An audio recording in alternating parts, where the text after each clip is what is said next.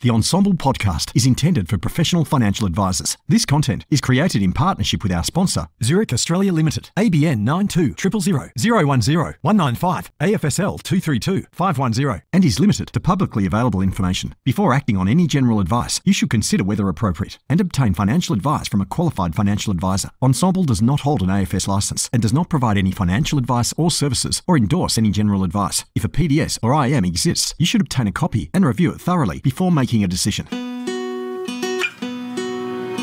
Hi, I'm Andrew Rocks from Ensombl, and I'm thrilled to be bringing to you uh, the podcast Engine Room that's devoted entirely to the practices or the business of the business of financial advice. Over the course of the next many months, we're going to be interviewing Australia's best independent boutique advice firms, their practice managers, their GMs, on what environment is conducive to being a best practice how they keep talent, how they attract talent, and what the future of financial advice is. It's the Engine Room podcast. Welcome aboard. Zurich is proud to be supporting this episode. The Zurich and OnePath Advisor portal is more efficient than ever before, giving you access to two leading brands with three highly sought after products, underpinned by two powerful underwriting engines, all with one simple sign on, making it easier for you to do business and perform at your best. Hi, and welcome to another episode of The Engine Room. I'm Andrew Rocks, and today I'm going to speak to someone special. Oh, uh, stop it. self-proclaimed special. Actually, no, I made that up. um, I'm speaking today with uh, the founder and CEO of Pivot Wealth, Ben Nash. Good morning, Ben. How are you? Good to be here, mate. Good to be on this side of the microphone. For once, that's right. And, and um, uh, it's also great to be interviewing someone who's a fellow passionate Ensombl person and a fellow director of Ensombl. So, um, um without any further ado, we'll, we'll get into it. And and given that this is a very rare opportunity for you to be on the other side of the thing. You better behave yourself in this podcast, mate. I just I'm just sitting here, just waiting patiently for my question. So bring it on. well, what I'm dying to to hear about is is uh, the pivot wealth journey, but, but more importantly, just a bit about yourself as far as you know how you've got to where you are with pivot wealth, um, your journey, you know, some of the trials, tribulations, and then you know a bit of a vision of where you're looking to take it. But uh, yeah, what's the Ben Nash story? Well, uh, yeah, good to be here. I, I, suppose when I started in advice, I uh, it actually took me a bit to get into it. I didn't go straight from school into uni. I went out, started working, making money, and it was only a few years later that I randomly got given a book about finance that sparked an interest in investing. And then I sort of went down the the rabbit hole from there. Went to uni, studied finance. Um, fell into a job in uh, a pretty big, well known uh, financial advice business that will not be named. And uh, it was a great place to learn. Really solid shop from a technical, strategic perspective. Um, and then I was there for a couple of years, started getting a bit of an itch, um, but too scared to take a leap. Thankfully, they uh, did our jobs for us and made most of the advice team redundant. Uh, from there, left and went to a small business. I'd never really thought about working in a small company before because I was sort of, and naively I know now, but pulled into that allure of you know the big businesses and the mahogany desks and all of that sort of stuff. But I, I when I was looking for jobs, I got approached by this mortgage broker that was running a, a, mortgage broking and and he had a lawyer that was working as well. They were helping people and wanted someone to come in and build the financial advice arm of the business. Sounded really interesting and exciting. Was way out of my uh, depth, but uh, you know can talk or at least could talk enough. So I taught myself in, into that job and yeah, it was really sort of interesting to to learn and try and figure out a whole bunch of stuff because in the previous company that I'd worked in, everything was spoon fed. We were told how to do everything. You basically just followed the bouncing ball. Whereas in this role, it was very much figure it out, figure out what's going to work, and then do that, and, and then learn. What year were we talking, Ben? So I started in this small company in, oh, it would have been about 2012, 2013.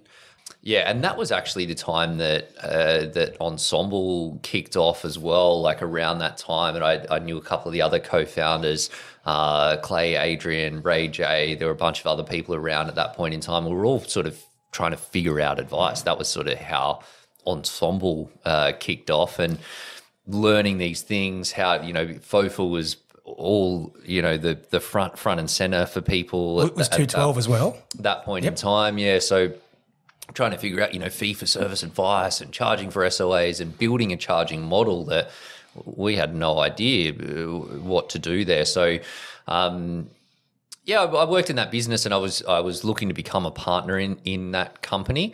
We had those discussions for about twelve months, and it, it we got right down to the finish line, and then it became clear that there was a bit of a values mismatch around the the you know how we wanted to serve clients and what we thought was going to be best for them. So I made the call that to leave, and then I didn't really want to go and work for anyone else, and I'd sort of again naively sort of thought I, I knew a couple of things, so I decided to start my own company, and then um, yeah, Pivot Wealth sort of kicked off from there. So just a couple of things. You you randomly found a finance uh, book that started this whole journey, Hmm. and was that the catalyst for you to become a prolific author in the financial services space?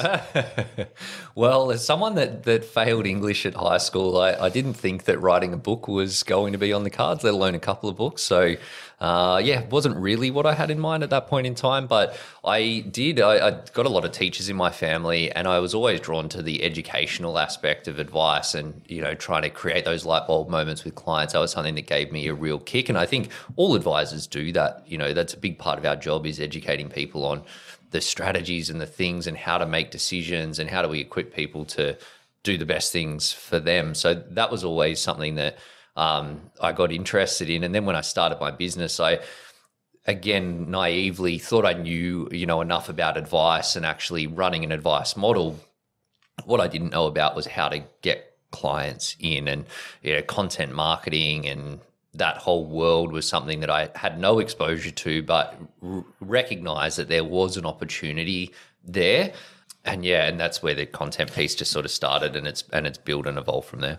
And look, it's it's a it's a very big part of, of Pivot. We'll, we'll, we'll get into that as, as the podcast goes on. But it's interesting you mentioned about um, a lot of teachers in your family because there's the whole concept of nature and nurture. And when I hear about your backstory there, where the first organisation um, was was a large corporate that you thought you wanted, but possibly um, wasn't appropriate, and, and potentially also questioned some of your values that at the time you didn't realise you were formulating. And it wasn't until after your second incarnation that you went, no, I want to do it this way, and you probably harked back to that that nurture of of those teachers, sort of giving you well, if you educate people and you enlighten people and you give them that light bulb, then that's a good thing. That's a positive evolution, and also it's probably something you could create a living out of. Yeah, absolutely. And, I- and I think that for it doesn't really matter. Like I work with a lot of younger people now, and that's always been a focus for me at Pivot. Also, in the previous business, it was a lot of younger people as well.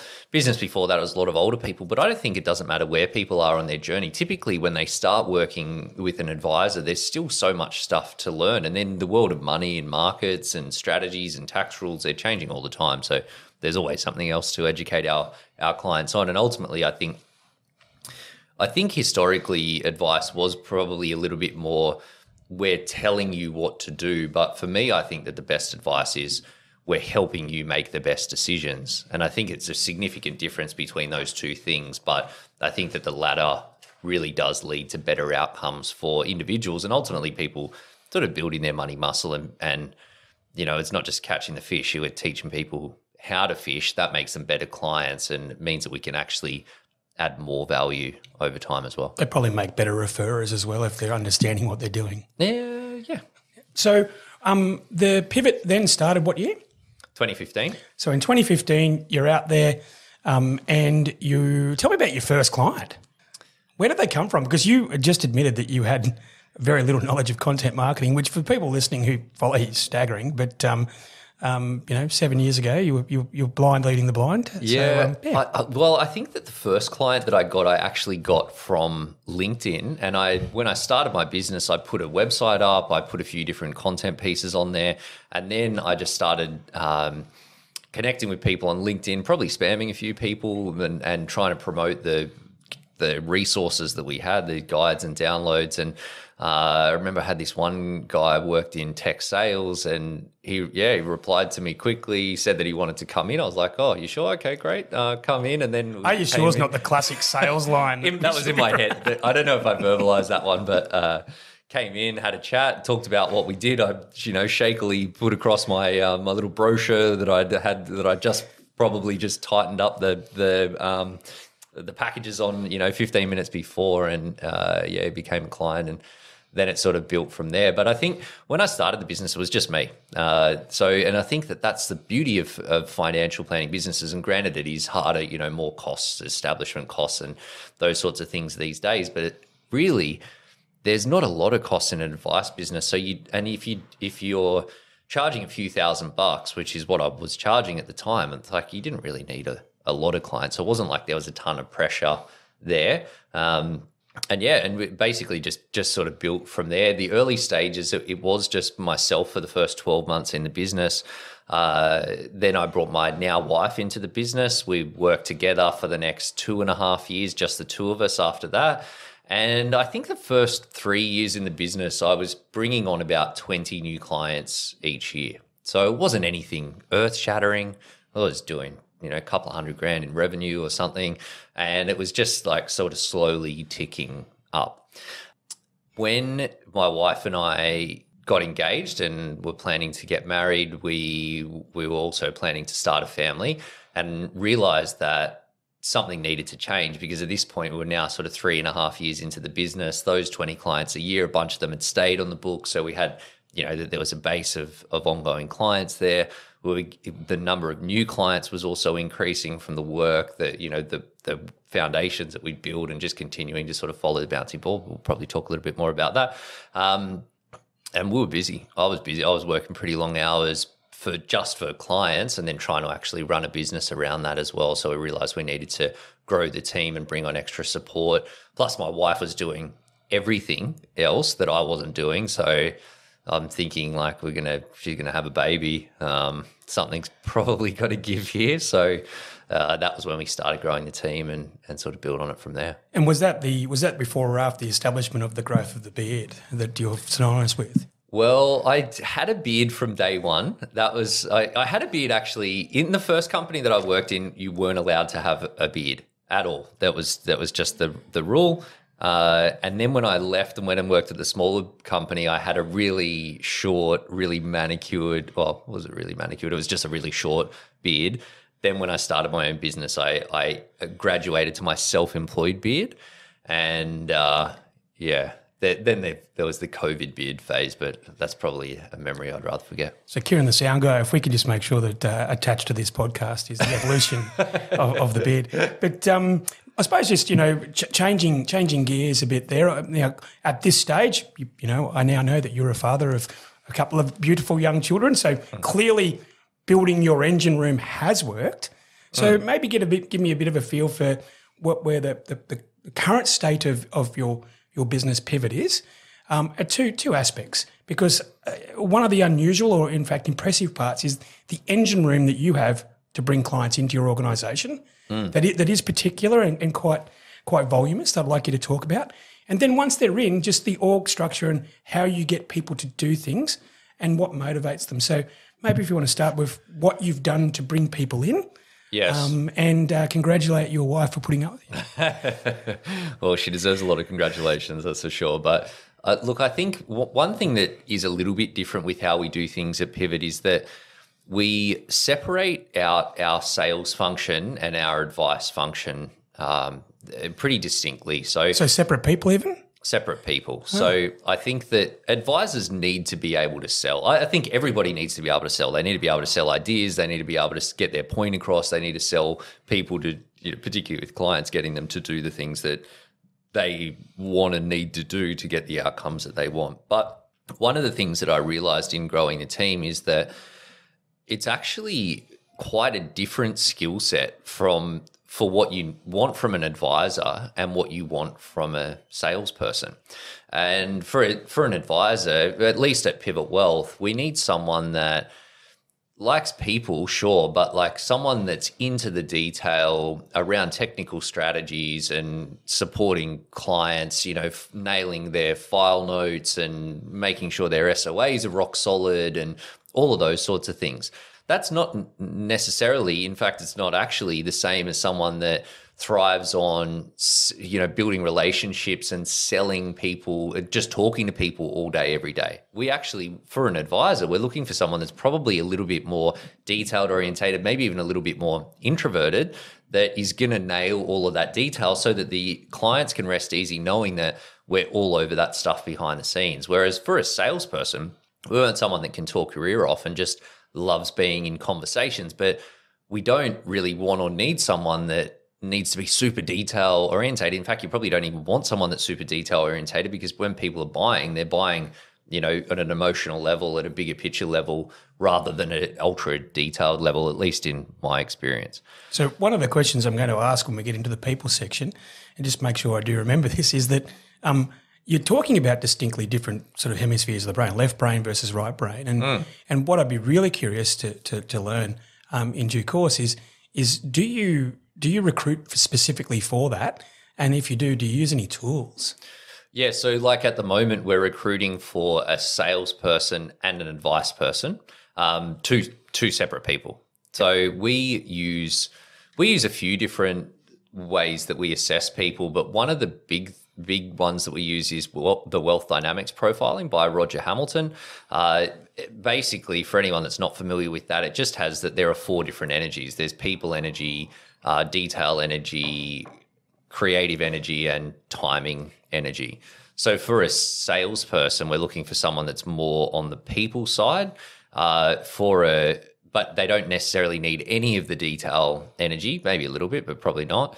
Uh, whereas for an advisor, we want them that's he- heavy on the detail side. Ideally, a bit of the people stuff as well, but really the detail needs to be there. So we look at that as a big part. And we know, like, that like for me personally, I don't have any people energy. You know, if you look at my profile, but well, that, that's going to be shocking for our listener. I to know, be brutally yeah. honest, and I did know that that was going to be a point because um, I do know you as a very specific, detailed um, individual who um, has managed to teach yourself how to do the people side. Would that be totally. fair to say? Yeah, and I can do it, and I have done it for years. For for ten years, I did all day, every day, and still do for a lot of days. I'm talking to people all day. But if I'm just uh, meeting after meeting with people all day, at the end of the day, I feel drained. If I spend a whole day working on a spreadsheet or a project or a process, I feel pumped and I want to work all night. So that's what we want. And it's like our, we got two business coaches and we'll probably talk about this in a bit more detail, but both of those coaches, they've got tons of the people energy and they've got very little of the detail energy.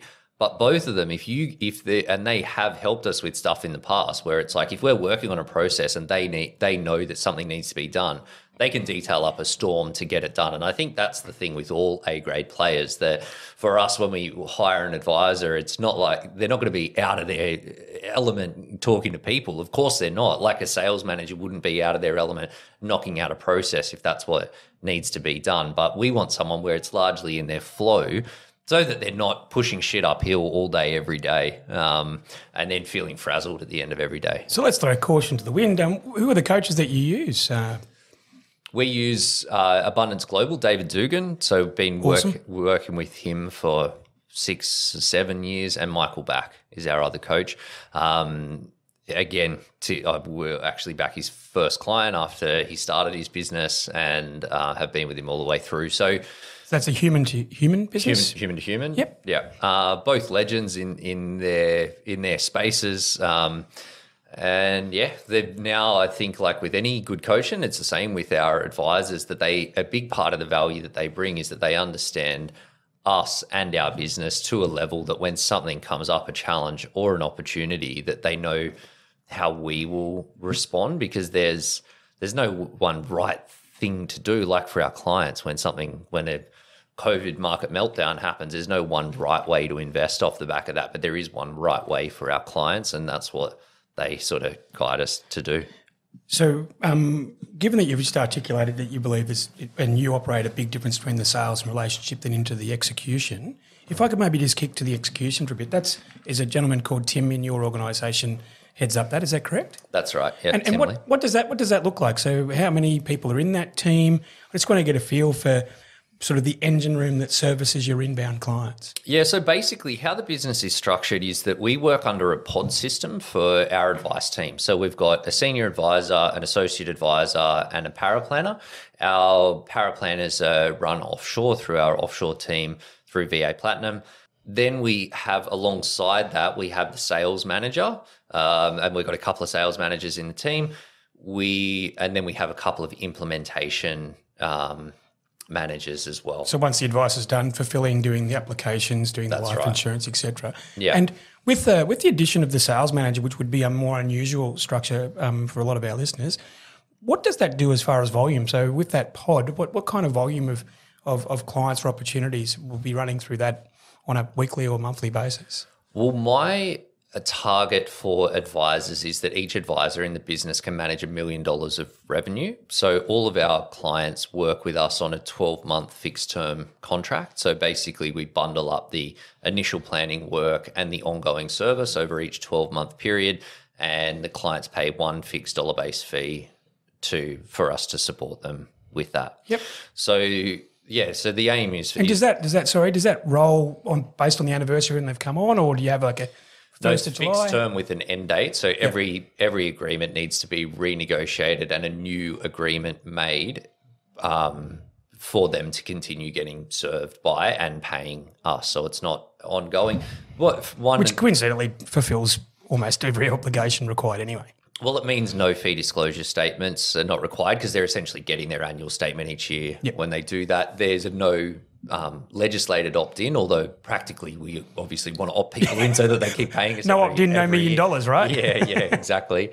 Uh, so that was part of our thinking in doing it, but also that we, you know, we pride ourselves on transparency as a business. We charge premium fees to to our clients. Our average fee is thirteen thousand dollars a year, so it's not a small number. We also charge hundred percent of our clients through their bank accounts, either personally or through you know through entities if they're um, uh, you know if they've got entities, but they're aware that they're charging us a fee. So we, yeah, we, I suppose we, there's no, we didn't feel like that it wasn't already clear, and so therefore it's not like a difficult conversation with someone getting them to re-opt into our to our ongoing services essentially. Plus, also, you know, if you do the one or two years with a with someone, and, and potentially they don't require as much um, service going forward, well, then you can sleep very soundly in that you've you've clearly priced and articulated the work for when you did it. That's you, have, right. you haven't subsidised today for for this this thing that might may or may not happen in the future, Yes. which means that you,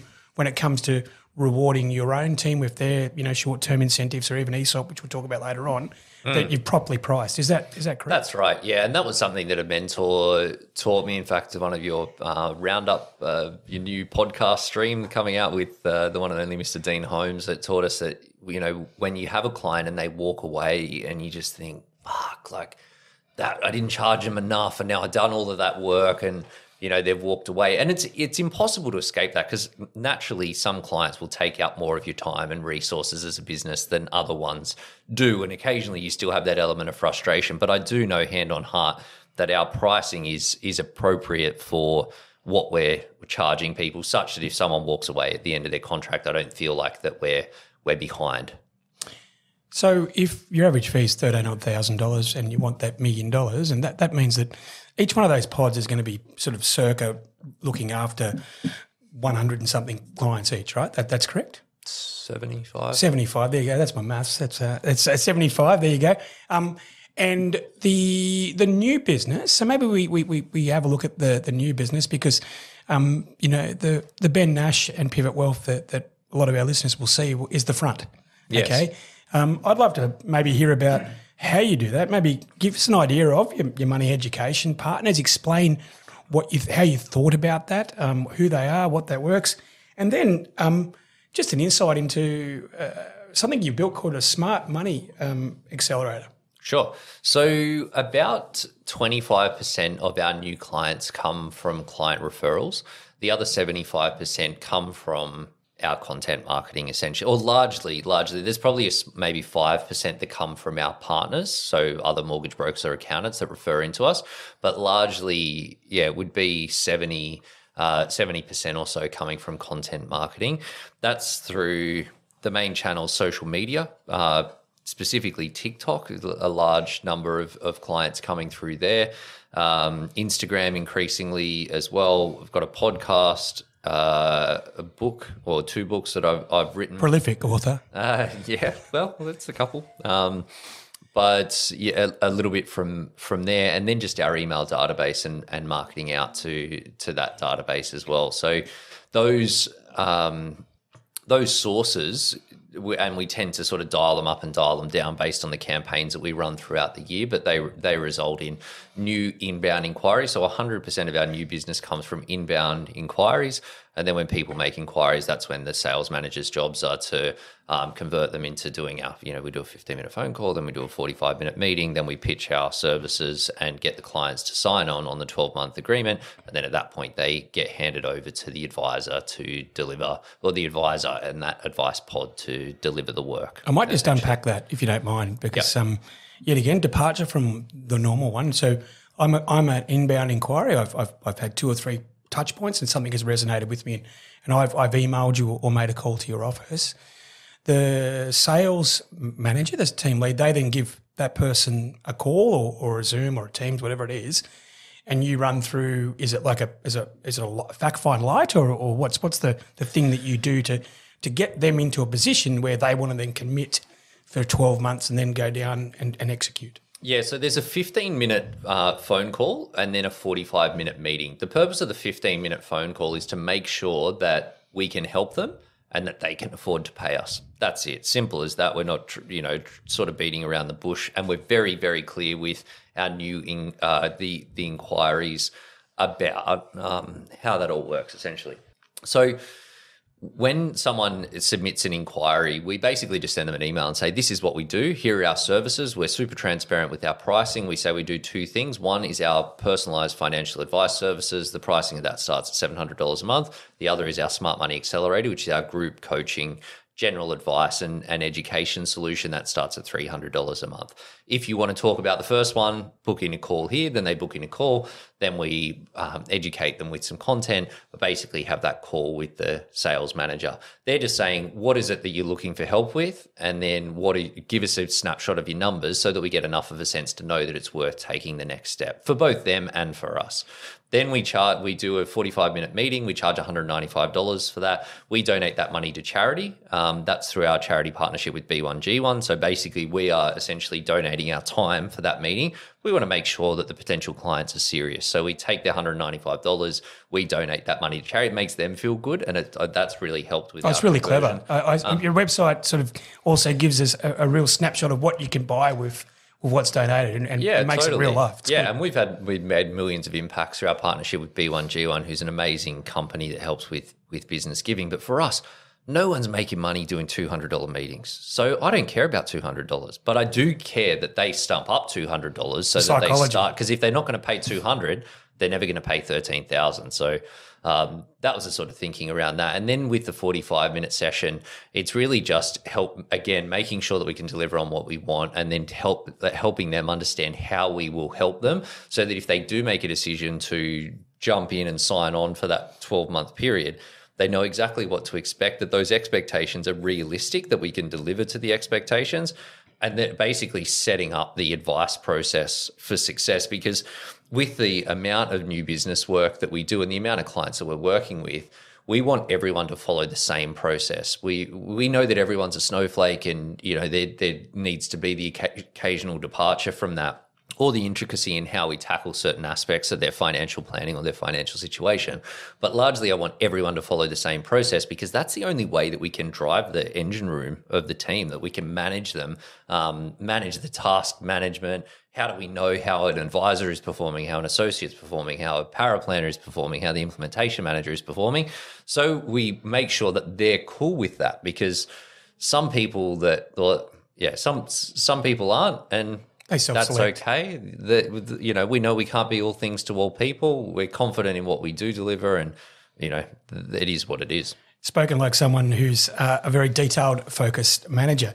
The, what I'd really like to know is um, so uh, the handover. The- So the handover from the cool relationship focused person who's really bonded with this person, they've then sold them this great opportunity, and then at some stage they're handing them to the detail focused person. So how do you craft that so that it's a, a seamless handover and almost seen as a win for the client? Yeah, well, we do. I, I've put together a, a video that explains how we work together as a team and what people's different roles are. Because as you sort of touched on and as anyone that's sort of come across Pivot will know that I do most like 90% of the content is me. So I'm sort of like the face of the business, but I actually don't take on clients. So um, we put together some content because I keep getting that question. It's like, oh, can I do the call with you? Can I do the meeting with you? Can you be my advisor? I'm like, well, Very reminiscent of Paul Clitheroe back with IPAC. I, I, IPAC it back in the day where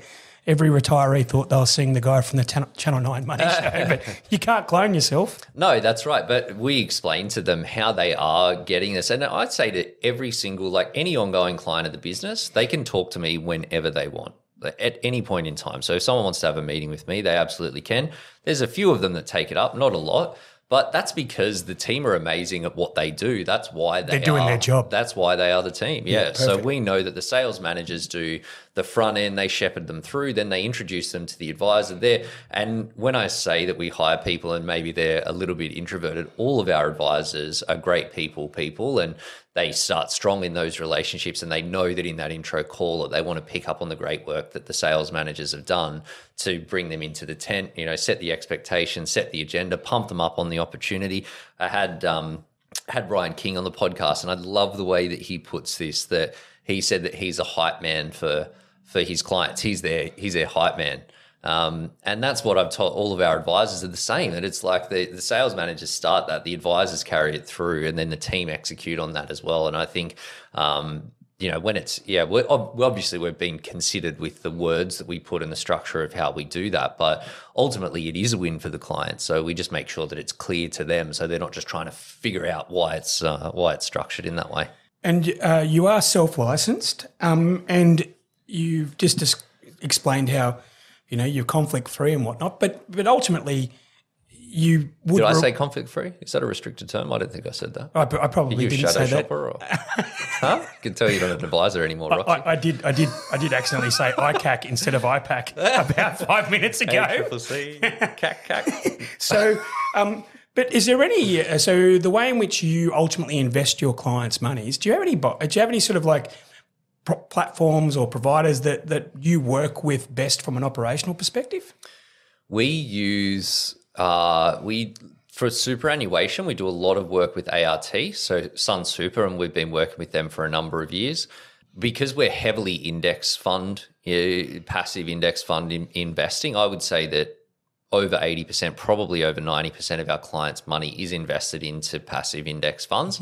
So ART is a solution um, for people that want ethical portfolios, and that's something that our clients are interested in and that we're seeing a bit more of. Then we tend to do that on platform. That tends to be Netwealth or Hub 24.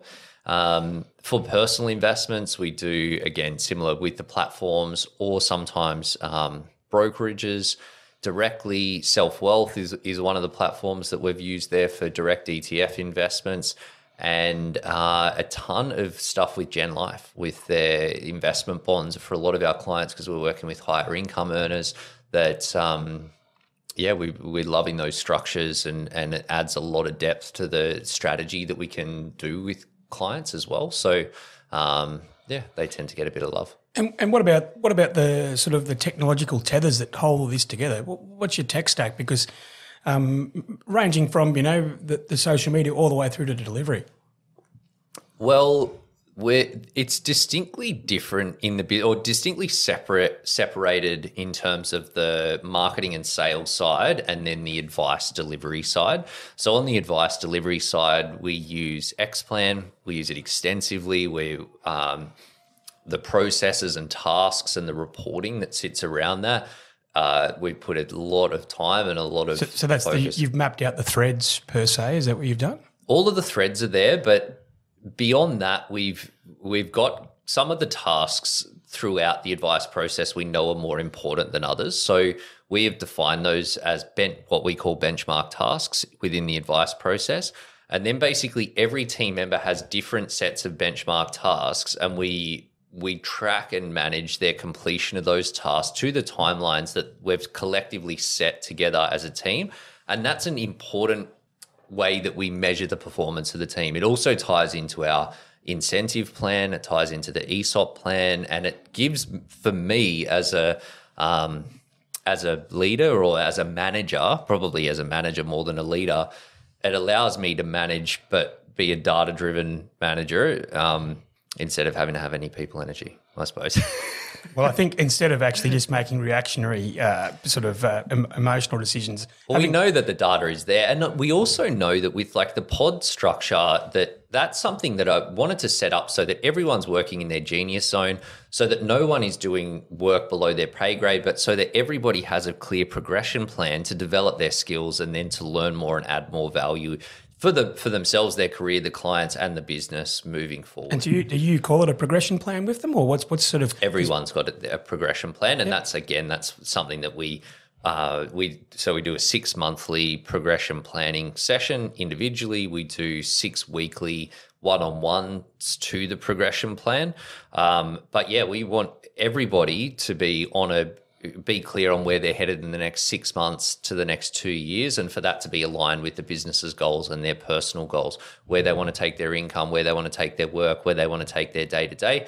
And we, one of the beautiful things of a, of a growing business is that there's always opportunities for people to progress their roles in slightly non-linear paths, and I'm all about that because if people are interested in different things, then great let's let's get them involved in those things so yeah, I feel like I sort of covered a bit of ground there, but essentially gives me a lot of confidence in the, how the work is going, but with, with, me taking a macro view.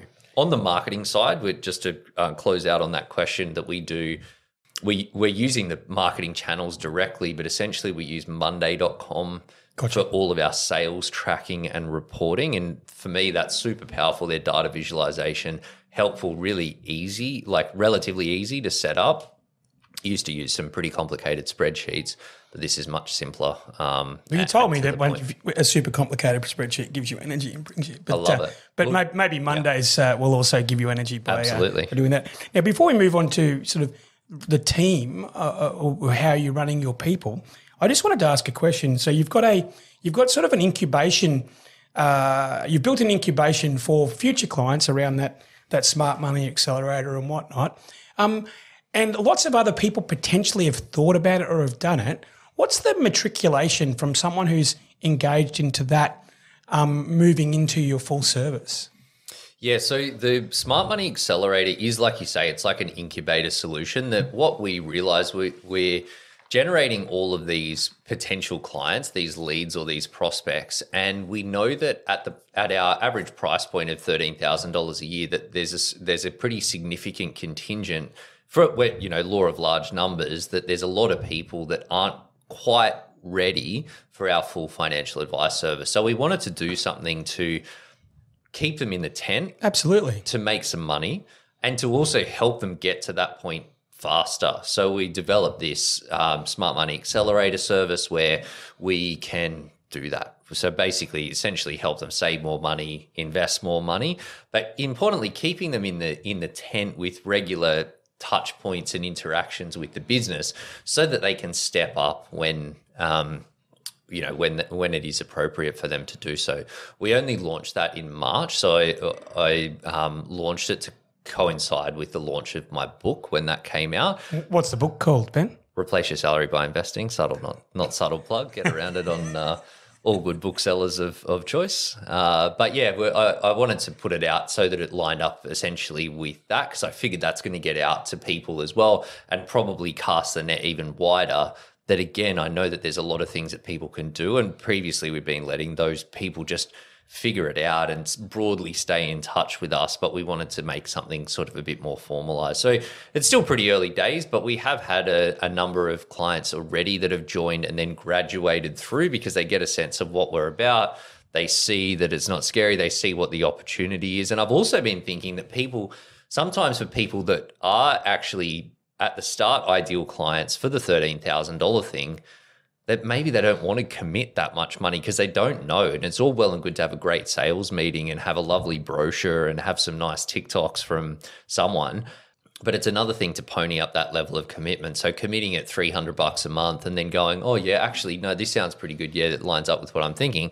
Oh, let's do the dance. Then uh, that seems to be happening. So I'm pretty excited about that. And I also think that, like, for a lot of advisors, really, that we need to get better at that as the as the cost of advice increases around Australia and around the world that people are priced out and we need to be doing something for those people because they still need oh. help with their money and tech is filling the gap but advisors need to be doing that as well. So i think there's a lot of opportunity there for advisors. It needs to be a hybrid approach absolutely. And, and um, you're right. Not everyone um, trusts you day one. And, and, that's a function of their nature and nurture or it could even mm. be a function of, of their experience uh, in the past. But um, uh, with your the name of your book and having read um, a large sway of your book, um, the name Rich Dad, Poor Dad, Cool Dad was obviously uh, trademarked and taken. Is that correct?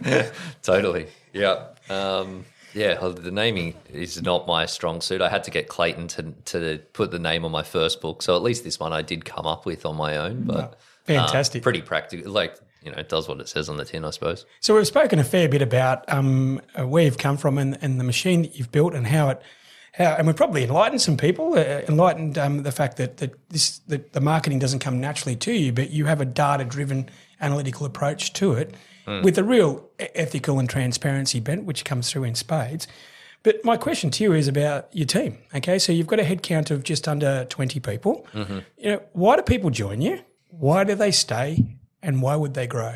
Yeah, it's a, it's uh, good questions. Look, I, I think that we know who we are. We're not trying to be all things to all people, and we know that there's amazing. So, who are you? We're Pivot Wealth. Um, but look, I, I, think that to to answer a different question, if you were to say like, what are your points of difference? That uh, the points of difference for Pivot Wealth as a business is that we're very results driven. And I know that that's a really dumb thing. Well, it sort of sounds a little bit dumb to say as an advisor, but I think historically that we're advisors are probably a little bit guilty. And I know that I've been there getting excited about delivering financial plans. But ultimately, like the people only want the financial plan as a stepping stone to get more money in their bank account, to have a better retirement, all of those sorts of things. So I think the more we can do about actually delivering those outcomes for clients. Um, and can I call you out on that? Because literally the first or second page on your website, mm. the, it, it, pops up saying that um, that Pivot Wealth uh, delivered 72,000 dollars. Seventy-one thousand two hundred and three dollars. Seventy-one thousand two hundred and three dollars worth of savings or, or worth of benefits mm. to your clients. Now that's a lot bigger than thirteen. How, how, do you get to that? And potentially there are other advisors out there this is happening to, but just don't have the self-awareness. Yeah, totally. Well, I, I think that as as the business grew and the team grew, that I as and I'm sure that there's be a lot of founders out there that could identify with this that when you're building everything yourself that it's often really easy for you to explain everything because you understand all of the stuff that sort of sits behind the scenes. Whereas when you start bringing new people into the team that haven't been as intimately involved in every single aspect of your advice process and business and your clients and they don't understand all of that stuff that you need to give them things that they can hang their hat on or at least that was what I felt. So um, we've spent a lot of time quantifying the results and the outcomes that people get from the work that we do. For us, there's there's three different ways that we measure that, and this is not unique to us in in any way. It's just we've spent some time sort of thinking about it and pulling the data out that as advisors that we deliver what we we call um, the the advice upside, which is a seventy one thousand two hundred three dollar number that you saw in our website. What how we measure that is we look at the trajectory that our clients are on when they come to us. So if they keep doing exactly what they're doing when they walk through our door, what, what does their financial position look like in 12 months' time, five years' time, 20 years' time? Classic Polaroid. Yeah.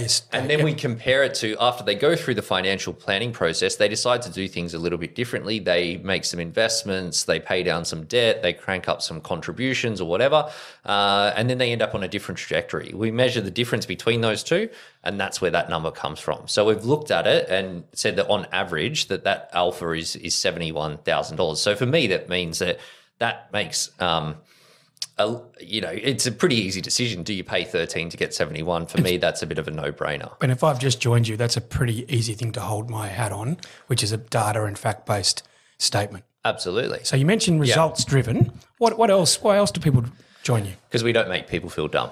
That's the other part of it. So we're uh, like approachable. Didn't see that on the website, but uh, that's coming. Website 3.0.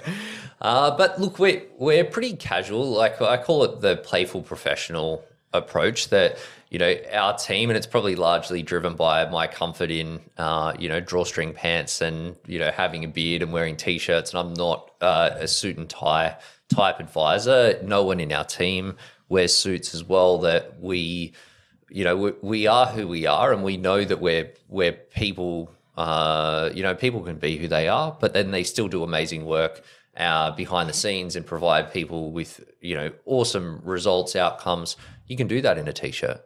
So our clients get that and they're comfortable with that. And I, I think that for our team that you know we've particularly with advisors that we've had them that have joined from the you know bigger institutions and uh, you know not having to wear a suit every day uh, is is pretty compelling but also having authentic, frank relationships with our clients. And I know a lot of advisors uh, uh, do that as well, but um, yeah, re- really just because we are so heavily involved in people's lives and lifestyle planning to drive the financial decisions that they make, that you end up like being a, a really crucial part of someone's life and helping them shape the decisions that they make. So I think to to go back to your question, it's that the work has a real impact. That it does actually work. We're incredibly transparent in what we do. We're one of the few businesses um, around the place that are entirely fee only. So, yeah, so if you guys don't deliver, like if you don't deliver, they're not coming back for the next twelve months. So That's so it, right. it puts massive competitive pressure on everyone playing A, a grade. Absolutely. And we haven't built the reputation that we have in the market by not delivering for our clients as well. And we know that people do need to take a leap of faith before they come in, but we can show them all of those results. We're confident we deliver. We have to show them after we deliver the plan what is the upside that they get. So, uh, you know, if you want to do real great work that has a great impact with great people, we've got a no dickhead policy with our clients. So I feel like that's a really compelling thing that we know that if someone is not the right fit, either from a financial perspective, but importantly from a mindset perspective or a what they want perspective. For us, we would it, we know that it's easier to let them go and find another business that is the right fit for them than us trying to fit a square peg in a, A pro dickhead business is that what? a pro dickhead business. Yeah, do they have those? I'm not sure.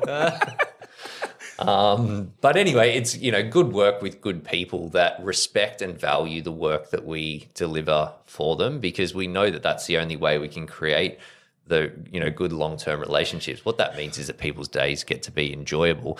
Plus, also just while we're talking about um, selling points, that because of that structure of how the business works, is that we've got specialists in all of the areas. You know, for an advisor, they don't have to muck around with sales meetings and prospecting and having, you know, five hours a week or a day a week taken up with chasing up people and trying to get deals done. We're not, we've got people for that. Because you've got a business development manager or a sales role specifically for that. Yeah. That's right. And we've got And I think you mentioned earlier- for that and yeah. implementation people and we've Yep. got associates to do that. You know, any basically we only want the advisor to do what the advisor needs to do. Then we've got the associates and they love trying to do stuff that the advisor can do because they're developing, but it means that the advisor Part of their gets progression to do, plan, yeah? gets to do less. Yeah, exactly. So um, I'm a big one on, you know, people working in their genius zone and then having other people develop into the stuff that they enjoy doing less.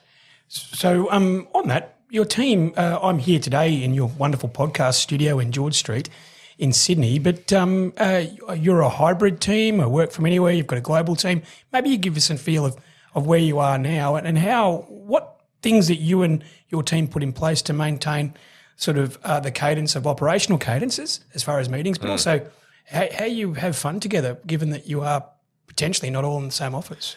Yeah, well, we've got the two office locations. So we've got one office in Cebu through VA Platinum that the guys work out of there, and there's a number of of other businesses. It's a co-working space like this is a co-working space that we're in today. Our Sydney team or our Australian team is all based out of our Sydney office. Yep. Although we do have work from home, you know, we've got flexible working arrangements, but all of our team members are primarily based out of the Sydney office.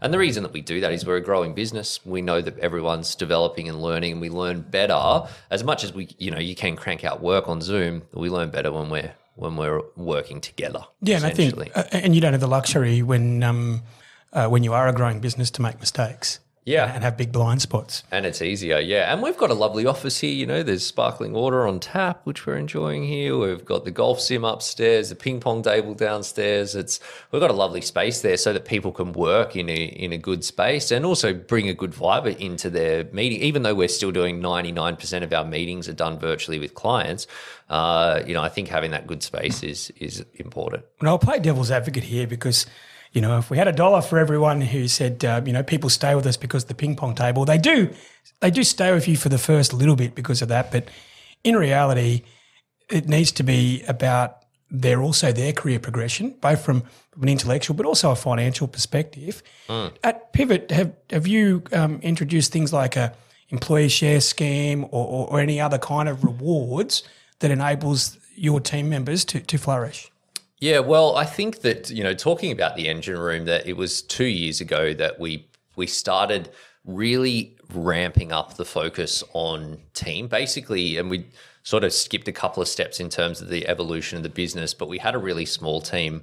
Then COVID happened, market melted down, then it started going ballistic. And at that time, our team basically tripled within the 12 month period, our team size. Wow. So we grew from six to about 18 um, really quickly. Not ideal um, uh, for a whole lot of different reasons. Sticky tape and staples uh, on the HR. Yeah, you start, you know, like you're barreling down the expressway with uh, with things not sort of, you know, hundred percent built for that.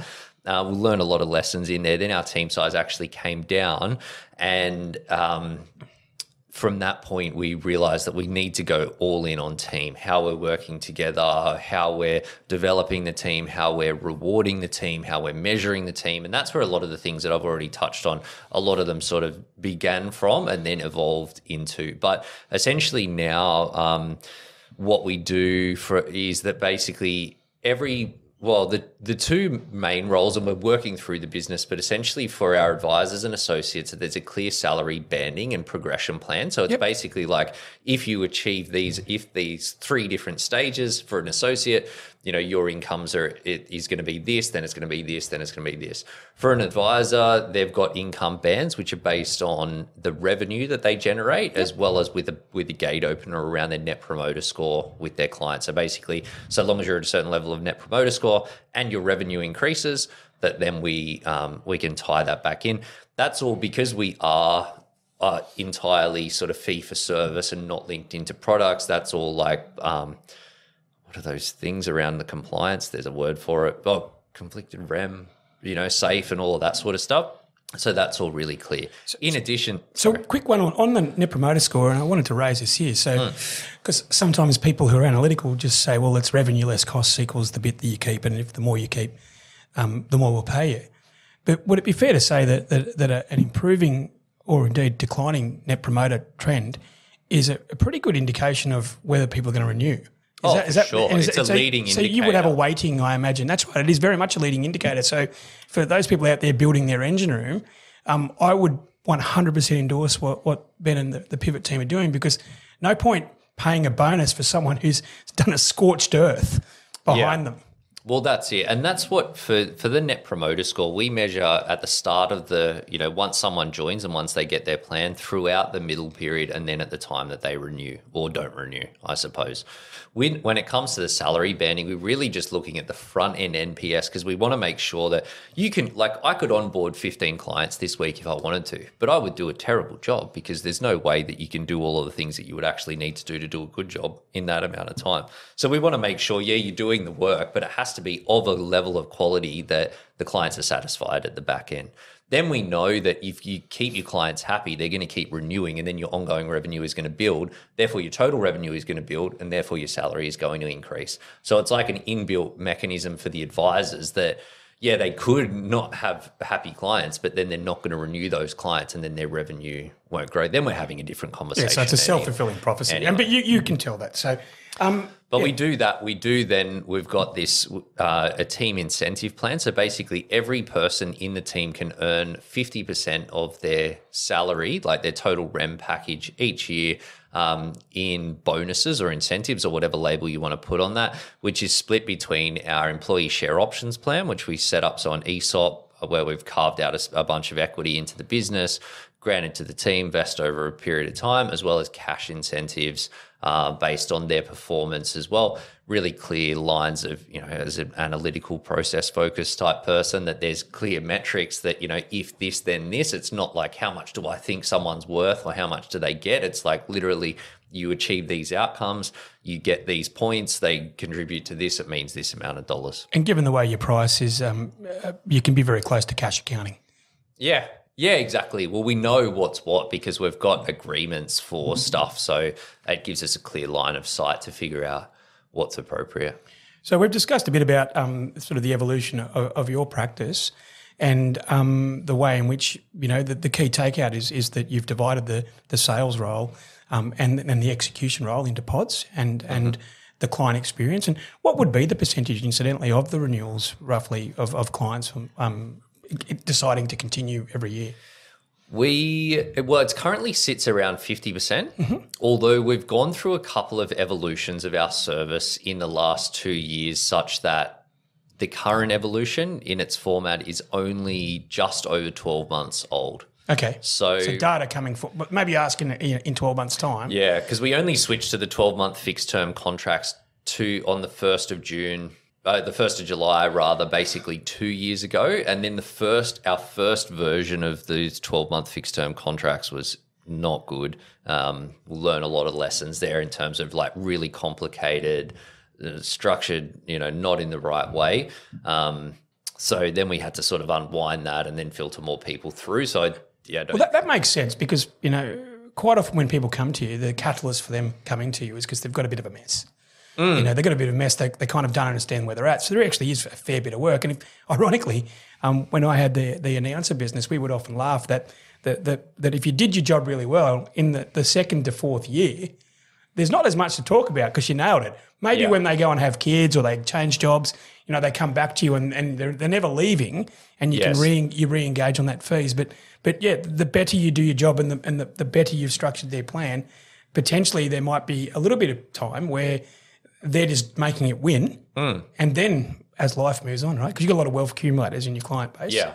And well, um, I think about a quarter of our clients are probably where they've got some certain things that they need to get done in the first instance. Yep. And that first 12 months, it sets a lot of those things up. Again, with that Smart Money Accelerator, we can now tick people down into that lower touch, lower cost service and then wind them back up. Perfect. And we know, so it's that years, the year two renewal from year one to year two is going to have a higher level of drop off. Once we go though from year two to year three, then our renewals are like 75% because we know that they're people where we can add consistent value Yep. over time and Yep. then it's a higher um, number. and they, they probably have more things going on with them as well. Exactly. So, so I'm, I'm keen to also hear about, um, uh, you know, you're across a lot of different financial planning businesses uh, with your experience and, and being part of the, the, the founding team at Ensombl. You've, you've seen different different sorts of business models.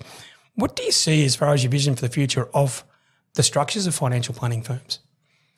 Well, I think it's sort of like what we t- we've spoken about already, where advice businesses are getting more and more premium. Sort of similar to what we've seen in the accounting space, where you're working with people that have more ways that you can add value, you can charge more fees. And I think that's where the you know the higher touch advice businesses will go. I think there's a huge gap for us to fill as an industry, and partly with technology as well for everybody else. We've already seen you know more and more solutions come around investment management, and I think that that will continue. Uh, I think education-based solutions, or like what um, Vince and the team are doing over at Life Sherpa, like phenomenal business, really data-driven. You know, ultimately, really cheap, cheap relative to an advisor subscription model. Tons of value in it though, but through that more quality uh, data collection, which is still a very laborious and a resource intensive process for advice businesses. So I think that will develop more. And um, yeah, I, I think that we'll see better, you know, through either AI or AI with better content and, Yep. and video, people educating, ultimately helping people make better decisions with their money, which is what advisors are doing. It's just when the decisions are slightly less complicated and lend themselves a little bit more to doing that, I think that we'll see technology and more, you know, scalable solutions filling that space rather than a than a human sitting across from someone. And so, um, seven years in at the moment, you've got just under 20, 20 in your team, um, spread, spread spread between two countries, but but the the advice is here in, Sydney. But in saying that, your clients are from everywhere because they're that they're, they're quite often digitally engaged. Um, what's the future for Pivot? Um, are you a uh, are you looking to to sort of now that you've you've you've almost beta tested a lot of your different sorts of things. You know, you've, you mentioned then you've had some successes, you've unwound some things now that you've got this proof of concept, and you do have quite a lot of people who who, who follow the, uh, the the way in which you think and the way in which you position, where do you see the growth of of the business?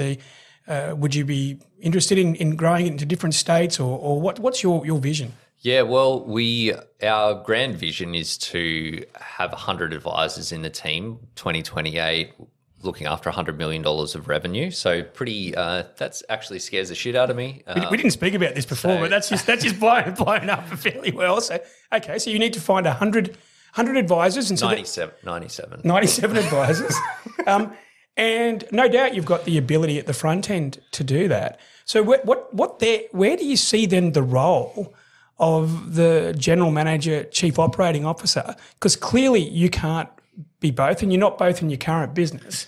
So are we going to be seeing a new uh, Ben Nash, or, or are you going to clone yourself, or or are you just going to be putting in better structures or more structures for your operations team?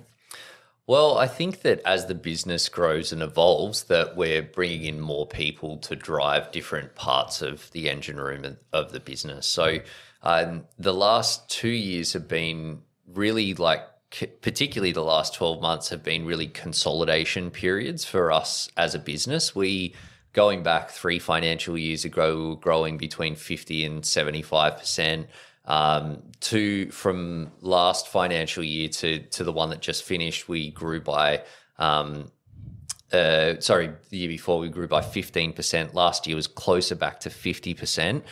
But it's been slow. It feels slow after after growing at, you know, 75% a year. So trying to sort of pump the brakes and and make sure that we had our structures Yep. engine room right before we keep going down the path, I think took took a, a fair bit of patience.